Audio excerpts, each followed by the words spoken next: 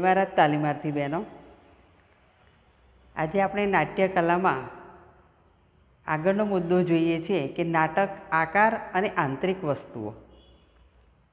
નાટક એ સાહિત્ય સ્વરૂપ ગણાય તો પણ તેની દ્રશ્યતા અને પરલક્ષિતાને કારણે જુદું પડે છે.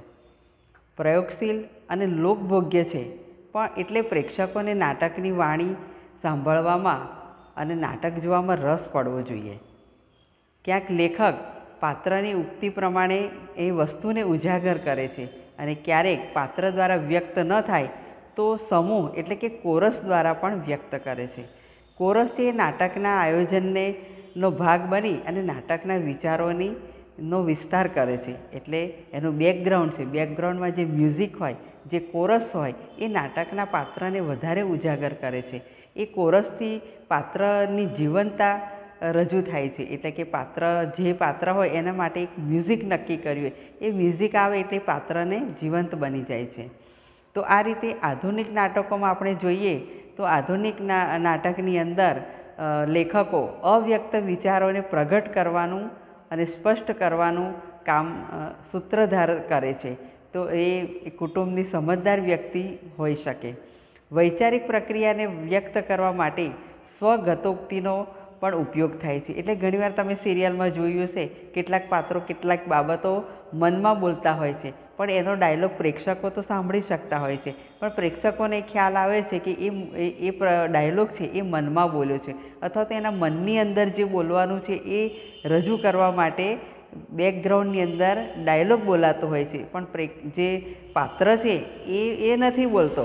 પણ એના બેકગ્રાઉન્ડમાં જે ડાયલોગ રજૂ કર્યો હોય છે, એનાથી આપણને ખ્યાલ આવે છે કે એ પાત્ર મનમાં બોલે છે. અથવા તેને મનની અંદર શું ચાલી રહ્યું છે? પોતાના મનના જે વિચારો છે, એ બેકગ્રાઉન્ડના ડાયલોગ દ્વારા ખ્યાલ આવતો હોય છે. તો આ રીતે પણ રજૂ કરી શકાય છે. એટલે વ્યક્તિના પાત્રના મનમાં જે ચાલતી વૈચારિક પ્રક્રિયાને આ રીતે આપણે રજૂ કરી શકીએ છીએ. તો ક્યારેક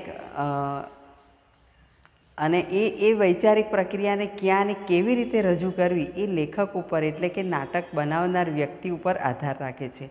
એટલે કે વૈચારિક પ્રક્રિયાની વિશેષતા છે, કેવી છે એ સ્વગતોક્તિ પ્રગટ કરે અને એનો કેવી રીતે ઉપયોગ કરે એ લેખકની કાબેલિયત પર નિર્ભર છે. અત્યારના જે લેખકો છે એ પ્રતીક એટલે કે ઇમો, ઇમેજ અને સિમ્બોલિઝમનો પણ ઉપયોગ કરે છે. એટલે કે જે આખા નાટકના વસ્તુને આવરી લે છે.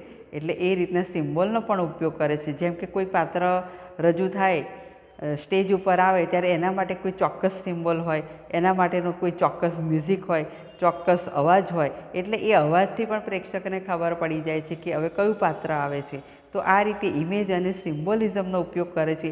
એવું તમે ઘણીવાર હિન્દી સિરિયલોમાં પણ જોયું હશે અને અનુભવ્યું પણ હશે. તો હિન્દી સિરિયલમાં એ આધુનિક લેખકો આ રીતે સિમ્બોલ અને ઇમેજનો ઉપયોગ કરતા હોય છે.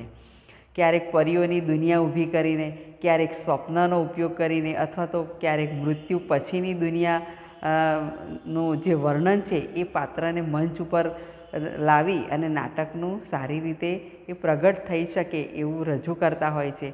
તો આ રીતે સેટિંગ અને ઉપકરણોની મદદ વિના માત્ર અભિનય દ્વારા નાટકની રજૂઆત થઈ શકે. એમાં માનવ શરીરના પોતાના વિવિધ રીતે પોતાના શરીરનો ઉપયોગ કરી શકે. ક્રિયા અને શબ્દ સાથે હાવભાવ જોઈએ. પણ ક્યારેક જરૂરિયાત પ્રમાણે શબ્દ વગર કેવળ આંગિક અભિનય દ્વારા પણ નાટક ભજવી શકાય. ફક્ત અંગોના અભિનય દ્વારા પણ નાટકને જીવંત બની શક, બનાવી શકાય છે. પણ એના માટે ખૂબ અભ્યાસ એટલે કે ખૂબ પ્રેક્ટિસ અને અનુભવ હોવા જરૂરી છે. તો આ રીતે નાટક એ અભિનીત શબ્દની કલા છે. એરિસ્ટોટલ એને ઇન્ટી એરિસ્ટોટલ એને ઇન્ટિમિઝમ ઓફ એક્શન કહે છે. તો આ રીતે નાટકના કેટલાક તબક્કા છે. એમાં પહેલો તબક્કો છે કે આરંભ. નાટક હંમેશા એનો આરંભ એટલે હળવાશથી.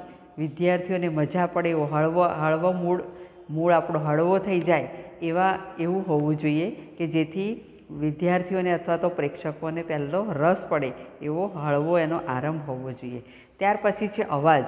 અવાજ ધીમો, સ્પષ્ટ અને બરાબર સમજાય એવા સ્પષ્ટ ઉચ્ચારો સાથે એવા હાવભાવ સાથે, એવા મોઢાના એક્સપ્રેશન સાથે એનો અવાજ પણ એ રીતનો હોવો જોઈએ કે સામેની વ્યક્તિને સ્પષ્ટ ઉચ્ચાર સાથે સાંભળી શકાય. ત્યાર પછી વિકાસ, નાટકનો વિકાસ ધીમે ધીમે વિષય આગળ વધે અને સંઘર્ષ તરફ જાય એટલે ધીરે ધીરે ક્રમિકતા આગળ વધતી જાય અને ધીરે ધીરે જે આપણી સ્ટોરી છે અથવા તો વાર્તા એ થોડી સંઘર્ષ તરફ કેળવાય તો પ્રેક્ષકોને એ જકડી રાખે છે. ત્યાર પછી ગૂંચ ગૂંચ એટલે કે નાટક એક સરખું ગતિમાં ચાલ્યા કરે પણ વચ્ચે વચ્ચે પછી મધ્યમાં આવ્યા પછી એમાં થોડી ગૂંચ આવી જોઈએ કે પ્રેક્ષકોને આમ આતુરતા થાય કે હવે શું થશે? હવે આનું શું થશે?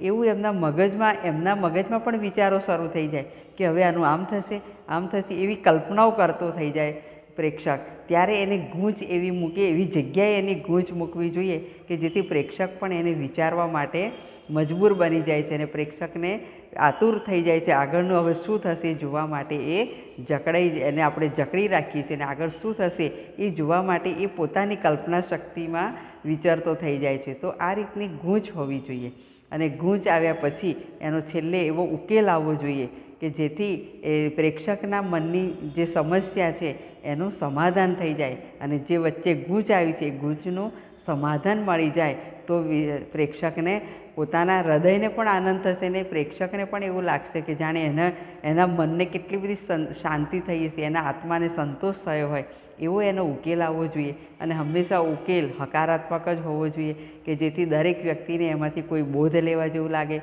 એમાંથી કોઈ મૂલ્ય શીખવાનું હોય, કોઈ બોધ મળે, મૂલ્ય શીખવા મળે, એવો એનો હકારાત્મક અંત આવવો જોઈએ અને એ રીતનો એનો ઉકેલ આવવો જોઈએ કે એમાં હંમેશા સત્યનો વિજય થાય એવો ઉકેલ હોય. એટલે ટૂંકમાં હકારાત્મક હોવો જોઈએ કે જેથી પ્રેક્ષકો એમાંથી સારી બાબતો શીખી શકે. તો આ રીતે નાટકને આ રીતે નાટકનું કન્ટેન્ટ એટલે કે એમાં જે આકાર આ રીતનો હોવો જોઈએ અને એની આ બધી આંતરિક બાબતોને ધ્યાનમાં રાખવામાં આવે તો નાટકને ખૂબ આપણે રસપ્રદ બનાવી શકાય, પ્રેક્ષકોને જકડી રાખી શકીએ અને પ્રેક્ષકોને વારંવાર જોવાનું મન થાય, વારંવાર એને એ પાત્રોને વાગોળવાનું મન થાય, એ જ પાત્રોને વારંવાર જોવાનું મન થાય એવું નાટકનું આપણે આખરી સ્વરૂપ આપી શકીએ. તો આ થયું નાટકનું આંતરિક સ્વરૂપ અને નાટકનો આકાર. hasta